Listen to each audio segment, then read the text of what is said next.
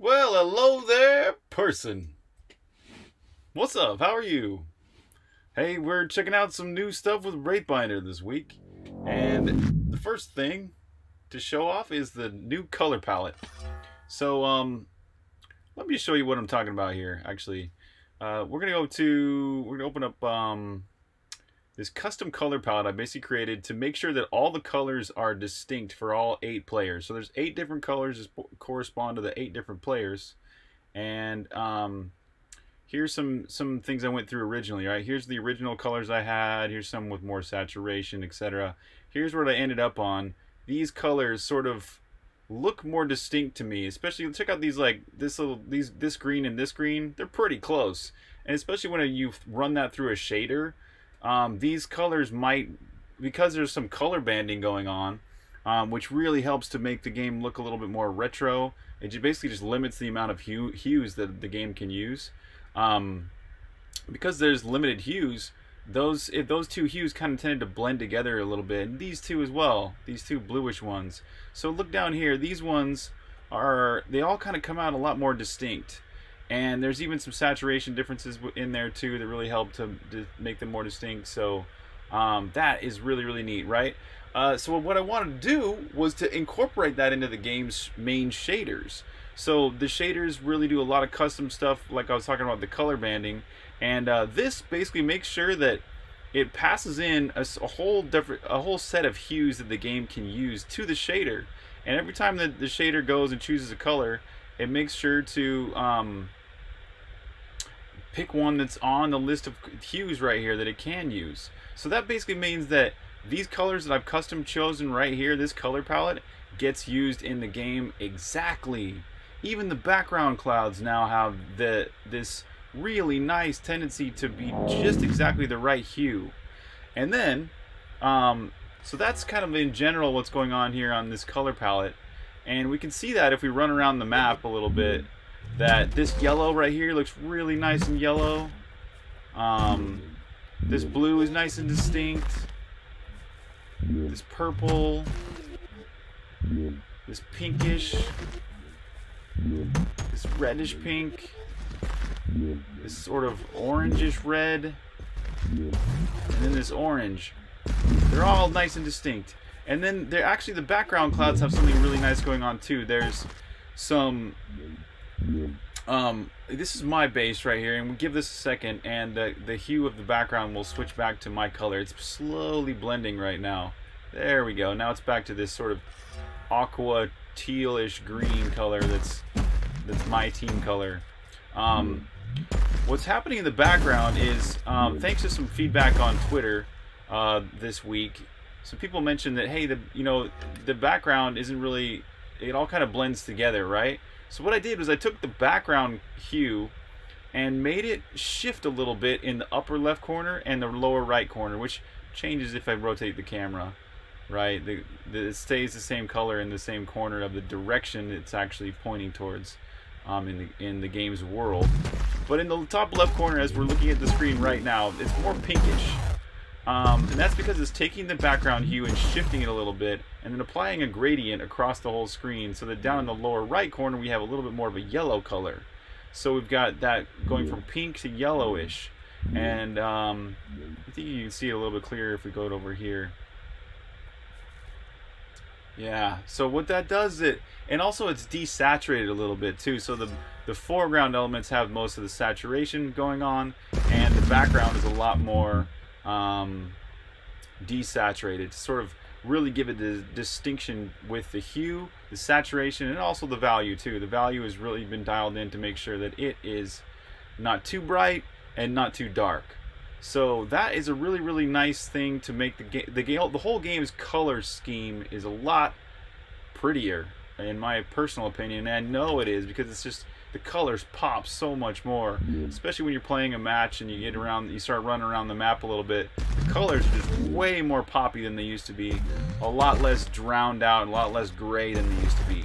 So that's one big thing this week. The other big thing this week is making these impacts a lot more impactful.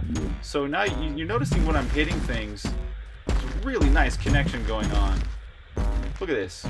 The entities that are getting hit are shaking. The camera's got a nice shake going on. That's helping. Um, there's actually a slight zoom on the camera too, so I don't know if you can see it, but it's very slight. It's only like one or two pixels. But you can you can see it when you look at the the abilities on the on the left side, or if you focus on the um, the baubles at the bottom with the health and the mana. Um, you can see that whenever something's getting hit, the screen is slightly zooming, and that's only when I hit something or I get hit. Um, if an enemy goes and hits something like this, let's let, let one of these creeper guys hit something. Oh, these guys are going to explode. It's not going to be the same effect. Uh, but yeah, anyways, the creeper guys don't cause that whole screen zoom in to happen. But uh, there's a nice shake going on with the entities, like I was just mentioning. Um, there's also dark, or, using a dark color now whenever any an entity is being damaged. It used to be white only, so um, whether you were getting healed, when you get healed, it would be a slow white glowing effect that was going on. But when you hurt something, it would be a white quick flash. And both those just weren't that distinct, right? So now it's a nice dark color when you're actually damaging something. And um, it's a nice light color when something's being healed. And then there's also some dust happening when you hit things. That's nice. Know, like like if you're shaking off some dust by hitting stuff. Um, there's also, you can clearly see the numbers now.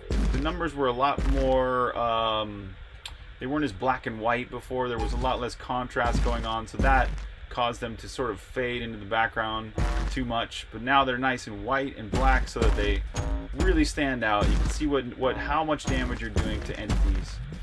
Um, what else is new with all that? Oh, the sparks are a little bit nicer. Um, and, uh, oh, gosh. This is kind of the most, most important part here. Um, before, before all these improvements, whenever you would do a screen shake, see there's a little bit of camera zoom, but there's also some screen shake going on whenever you're hurting something. And the problem with it before was that when I would run, when I would do a running attack like this, what happened was the, the camera kept on moving while the shake was going on. So the shake tended to get drowned out by the camera movement. Even though the camera was shaking, because the camera was moving more than it's shaking, you didn't really notice the fact that the camera was shaking at all. So, simple little trick. This is, again, thanks to some people on Twitter. Thank you guys for all the comments this week. Um, it's, uh, it's now this is kind of a neat trick like basically the cam the camera stops any movement um, from happening whenever there's a shake going on so if I'm running and I hit something the camera actually stops moving um, it's and it's you can see it but you can especially feel it when you're playing this game and you've got the, the your movement held down it feels like the, the tick is actually stopping that's a technique that most people use in single player games I use it in Songbringer where you would pause the actual the game's tick. You actually sleep the game for a frame or two. Pause all the rendering, pause everything, pause movement, so that it felt like you really had an impact, a connection when you're when you would damage something.